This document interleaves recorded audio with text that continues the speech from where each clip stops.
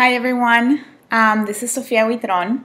Um, glad to finally get to meet you, I guess, uh, online. So hi Dr. Purcell and hi everyone at TCH uh, 432. So this will be my presentation for my CMS.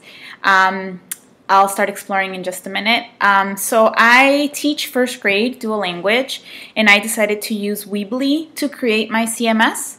Um, so let me walk you through it and then I'll answer um, the questions toward, towards the end of the of the screencast.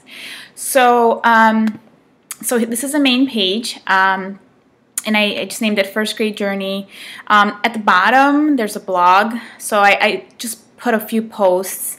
Um, I just made a, a simple welcome, um, you know, to first grade, uh, like a sample post. And then I um, actually, this is where I added um, the first um, disciplinary technology assets, I created a meme. So one of the things that um, happens a lot in my classroom is students don't read, and that's pretty much the only homework they have. In first grade, it's very important for them to, to practice reading every day um, because they're expected to learn how to read at the end of first grade. So I just made a little post, you know, kind of for parents and students, reminding them that they need to read every day. And, you know, in a way, being a little sarcastic about, you know, oh, you know, I get the silliest reasons all the time of why they didn't read. So I, I decided to create this to kind of send a message to parents and to students like, really, you didn't have 20 minutes to read? Well, then, you know, come on, tell me why why you couldn't do it. Um, so I thought it was was kind of funny to do that. And then actually, this is um, my second disciplinary technology asset.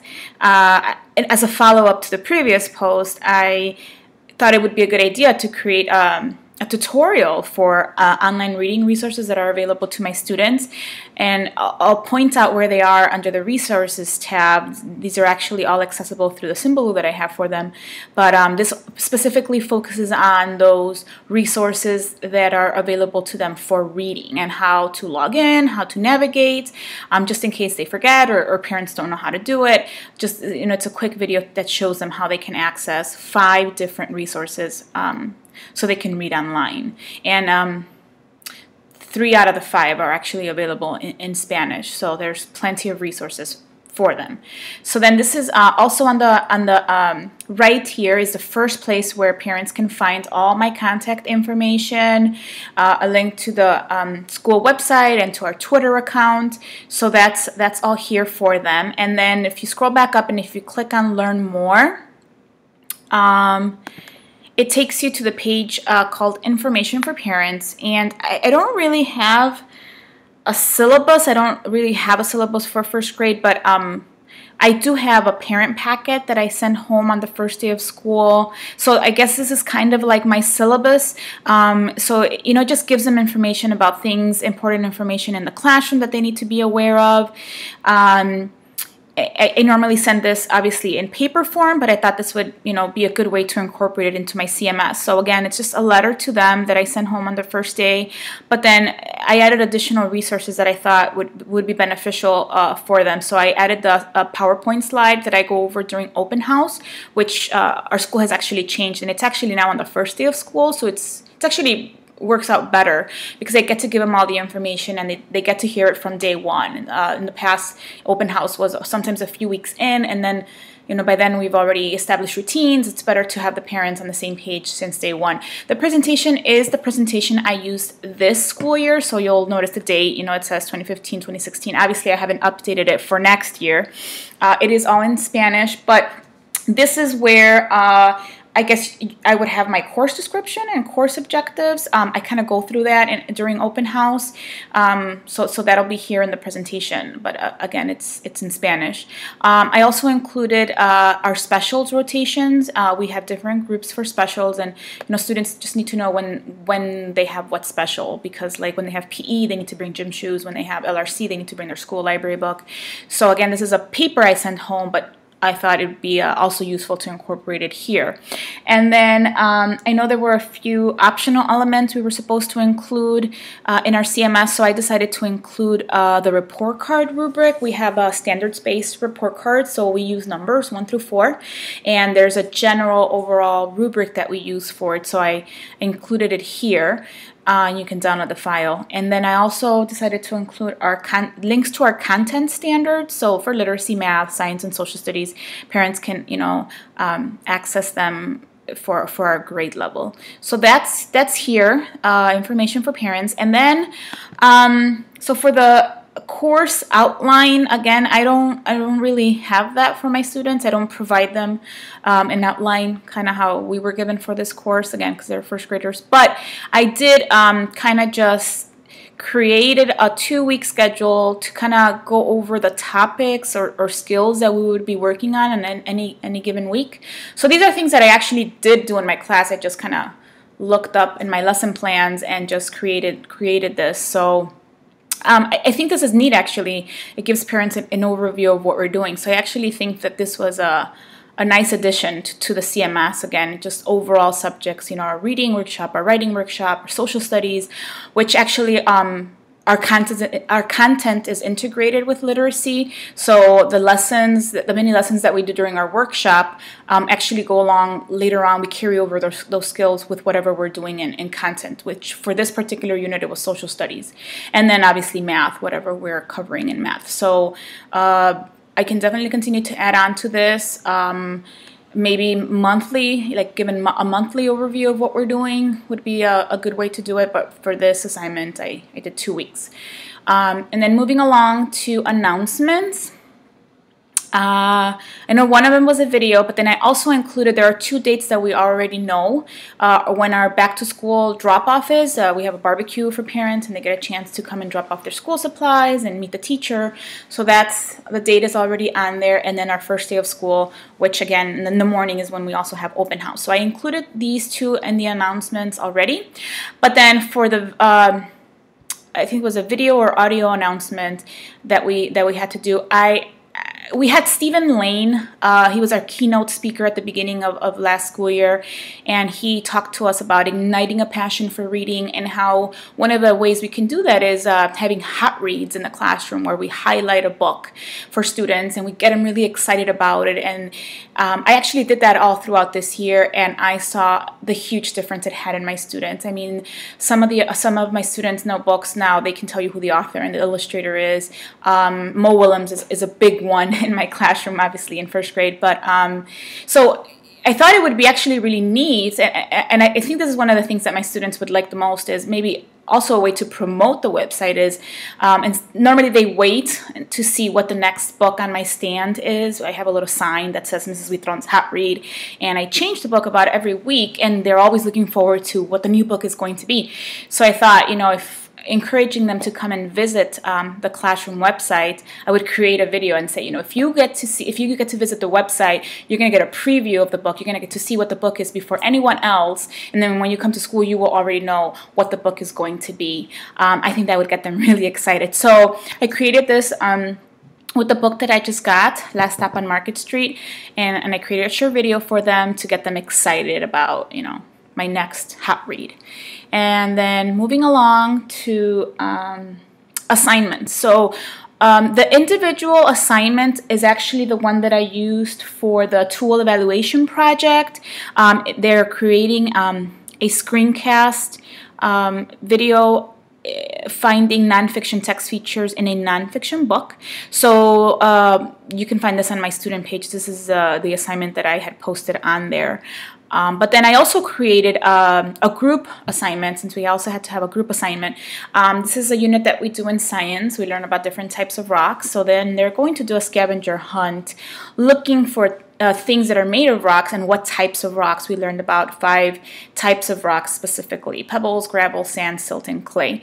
Um, this is actually something that I did do in my class, but um, not not not in this way like i didn't do a group work. They're actually creating a padlet together as a group. So it's something that we did do as as a class but not in this way. And actually i'm actually really excited about using this um, assignment next year um, because it incorporates you know a lot more technology and, and collaboration. So um, padlet is actually the tool that i highlight under tech tools and i'll talk about that in just a minute but um, so kind of using that they work as a team and they create a padlet together after they've done a scavenger hunt outside around the school looking for things that are made of rocks and then they'll, they'll tell me you know um, I don't know, the sidewalk. Uh, there's gravel and pebbles that go into making a sidewalk, or you know, mud. There's clay and mud. So things like that is kind of what what we did and what I would envision them doing for for this. So again, just detailed instructions of, of how to do it, and so then moving on to tech tools.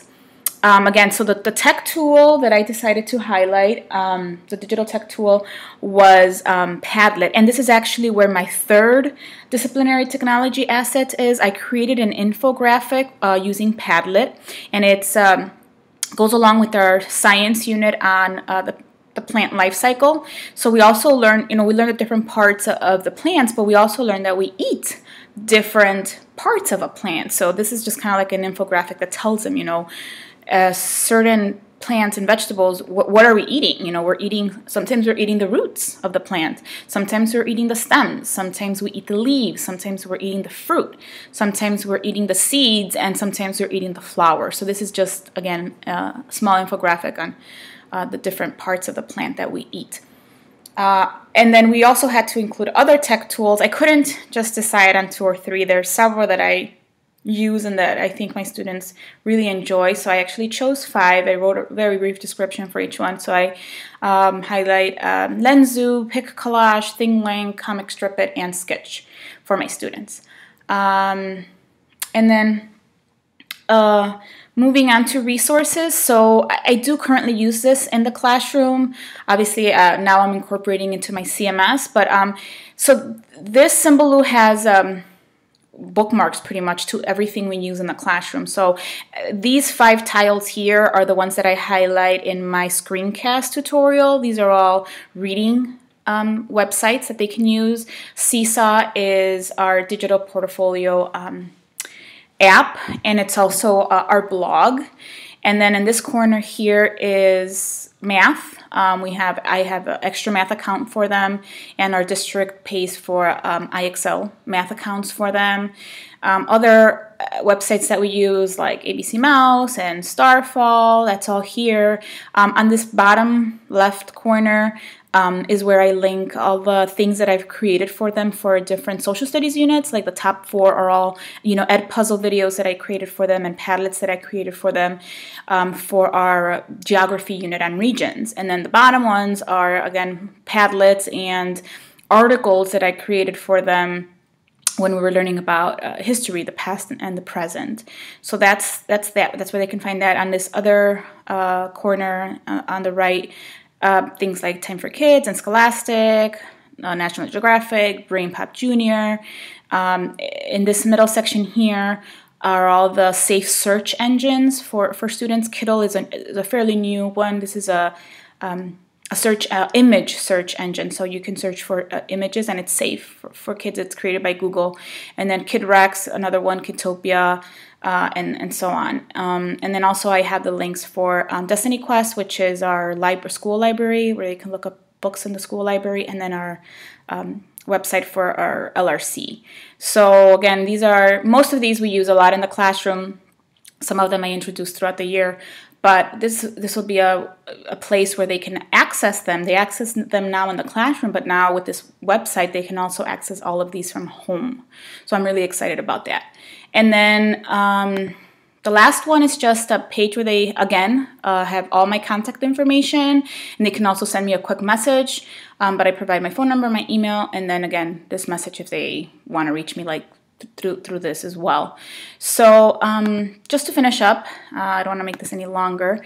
Um, so I, I, am pretty excited actually about uh, using this. I know I have to go back and translate a few things. Most of the communication, uh, actually all of the communication that I have with my parents is in Spanish. But for this assignment, I know some things obviously had to be in English, so so the professor can understand them.